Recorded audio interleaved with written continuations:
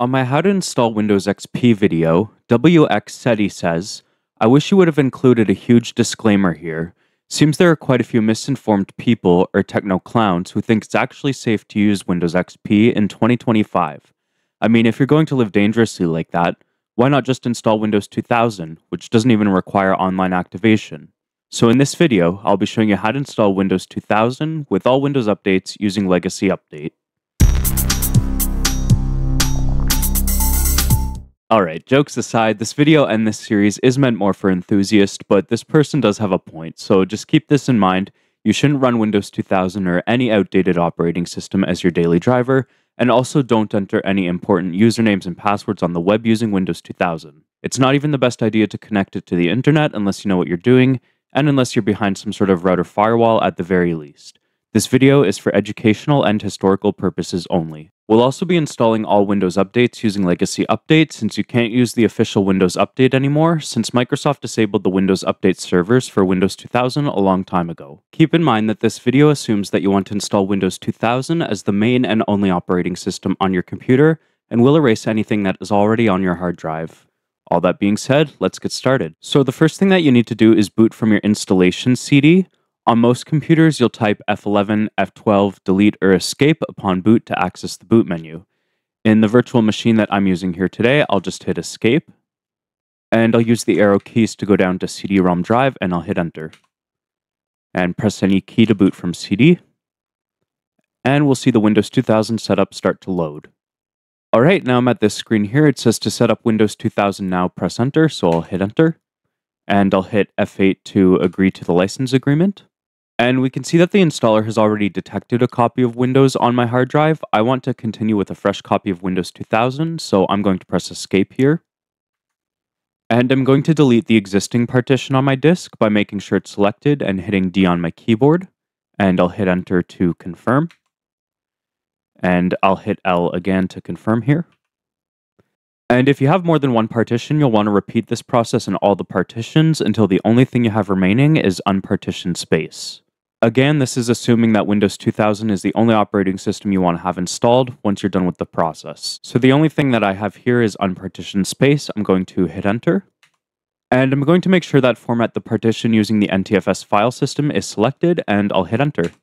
And interestingly enough, I think Windows 2000 is actually the first operating system to offer format as NTFS and to offer NTFS if I'm not mistaken. So that's kind of cool. And on my modern computer, this process goes blazingly fast, and my computer isn't even that modern. It's like eight years old. Okay, and the computer is going to reboot. I'm just going to hit enter so we don't have to wait. And we see the Windows 2000 boot screen. Honestly, this is probably one of my favorite boot screens from Microsoft. But anyways, I'll just wait for this to load until we get to the next part of the setup. Alright, and we've booted into the graphical part of the installer here.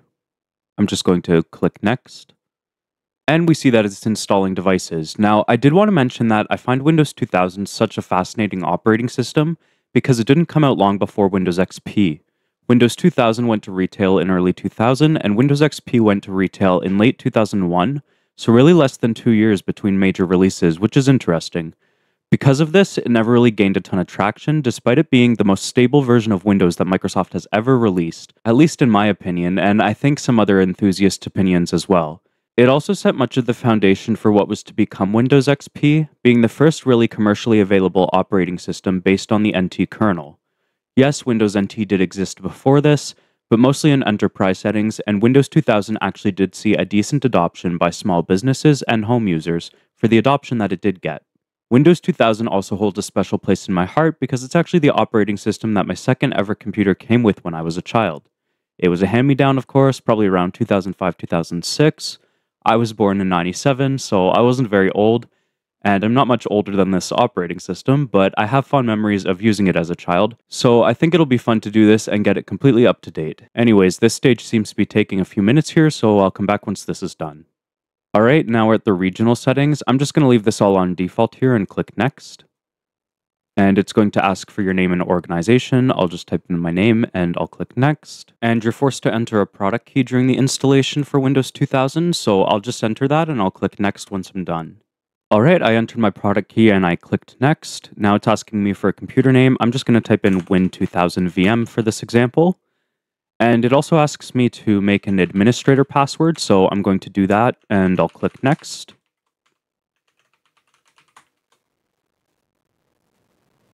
Okay, now it's asking me to select my time zone. I'm going to do that here. Now the menu is really small. I'm in the Eastern time zone. Oh, there we are. And I'll click next. And we see that Windows is installing networking components. This might take a second and I'll come back once this is done. And it's asking me if I want to use typical or custom settings. I'm just going to leave it on typical and I'll click next. And I'm going to leave the workgroup settings on default as well and click next. And we see that it's installing some components. So this might take a minute. I'll come back once this is done. Okay, and we see that it's performing some final tasks here. And finally, we see this screen here. You have successfully completed Windows 2000 setup. If there is a CD in your CD drive, remove it. So I'm going to do that. And I'll just click Finish. And the computer should reboot. Okay, now on the first boot, we see this, the network identification wizard. I'm just going to click Next. And by default, it wants you to always assume the following user has logged onto the computer. You can set a user here. It basically wants you to auto log onto the computer. I'm just going to click users must enter a username and password to use this computer. And I'll click next. And I'll click finish. And that's it. We're at the Windows 2000 login screen. Now, the interesting thing here is that there is no sort of out of box experience like we get with Windows XP Forward. So we haven't created a user account yet. We have to log in with the administrator account. So I'm just going to do that here with the password that I set during the installation, and I'll click OK.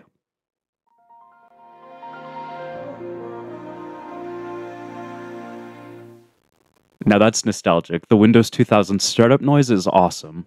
It was also actually used in Windows ME as well. Maybe I'll do a video on that at some point. But anyways, we see this getting started screen here. I'm just going to uncheck this box, show this startup screen at startup, and I'll click exit. Now at this point, you'll want to install your hardware's drivers. Most drivers of the time would have come on CD. Now, since I'm doing this in a virtual machine here, I'm going to go ahead and install the VMware Tools drivers, which should give us graphics drivers and give us a better user experience once I'm done. So I went ahead and inserted the VMware Tools CD, and I'm getting this message here that setup was unable to upgrade the Windows installer, and it won't proceed. So I guess I'm going to be showing you how to install Legacy Update and install some Windows updates without any graphics drivers at first, just until I can get this system up to date enough that VMware Tools will install. So the first thing I'm going to do is I'm going to open Internet Explorer. And in Windows 2000, the first time you open Internet Explorer, you'll get this Internet Connection Wizard here. For most networks these days, you'll want to select LAN or this last option here, and I'll just click Next. And on this screen, you want to click I connect through a local area network, and I'll click Next. And I'll just leave everything else on default. I'm going to select No here. Do you want to set up an internet mail account now? I'll click No, and I'll click Next and I'll just click finish. And of course, the default homepage doesn't load, but I should be able to go to legacyupdate.net here. All right, and it looks awful since we don't have any drivers installed, but it does load at least. So I'm going to scroll down here until we get to install legacy update. And we're just going to click that. And we get this really old school looking file download box. I'm going to select run this program from its current location and I'll click OK. And I'll just click yes on this security warning. I'm going to leave everything on default here, and I'm just going to click install. Now, what I'm hoping is that the initial run of Legacy Update updates the system enough that we can install the drivers and at least get a slightly better experience here. But I'm going to let this run and I'm going to let it reboot.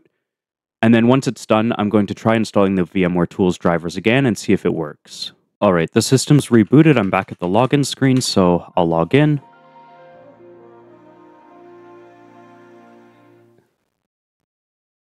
And we're in a minimal shell here. It looks like it's installing Service Pack 4, which is a good sign. I'm just going to let this go. It might reboot a couple times, but I'm going to keep doing this until I can make it back to the desktop so we can try installing VMware tools again. All right, Legacy Update has rebooted a couple times, but I finally made it back to the desktop, and it looks like the VMware tools setup does load now, so I'm going to install these drivers, and hopefully we can get a better graphical experience once I'm done with this. Okay, and I'm back on the Windows 2000 login screen in full 1080p HD now. It looks like the VMware Tools drivers did install correctly. So I'm just going to log back in.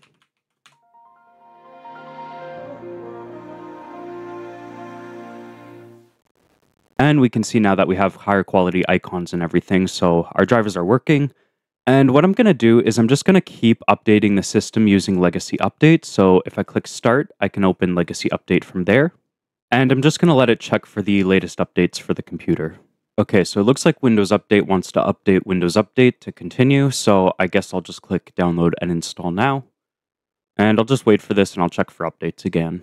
All right, and it's saying that I have to restart, so I'll do that and I'll check for updates again once I'm done. All right, my computer's restarted. We can see that I have a bunch of updates to install, so I'm going to make sure that everything is selected. Uh, we also have these optional ones down here, which I'm going to select. They all look like they could be applicable. And I also have these ones at the very top here that say they must be installed separately. I'm just going to install all the ones that are selected down here first by clicking Review and Install Updates, and by clicking Install Updates again and we'll see Windows Update open. Now, it looks like there's 96 updates to install, so this might take a while. I'll just let it do its thing, and I'll come back once it's done. All right, now I've gone through the process of installing updates from Legacy Update and rebooting several times, and now when I check for updates, the only one that I have left is this DirectX 9.0c update up here. It seems to be stuck. I've installed it several times and it says that it's installed correctly, but it keeps showing up in here, so I think we're just going to have to live with it. So other than this, the system is completely up to date. Now the last thing that we should do on our Windows 2000 system is create a separate user account to use other than the administrator account. So what I'm going to do is I'll click Start and I'll go to Settings and I'll click Control Panel and I'll go to Users and Passwords and I'm just going to click Add and it's going to ask for your username as well as your full name and I'll just click Next. I'll create a password and I'll click next. And for most users, we'll probably want to leave this on standard user. You can add the account to the administrators group, but this will allow the user to see other people's files. So if you want them to only be able to see their own files, but still install programs, you can just choose standard user here, and I'll just click finish. And that should be it. I've created a new user account. So what I'm going to do is I'm going to log out. Now, it looks like we don't have a logout option. I'm going to click shutdown and we see we have an option to log off administrator. I'm going to do that. And it should let me sign in with my new username and password.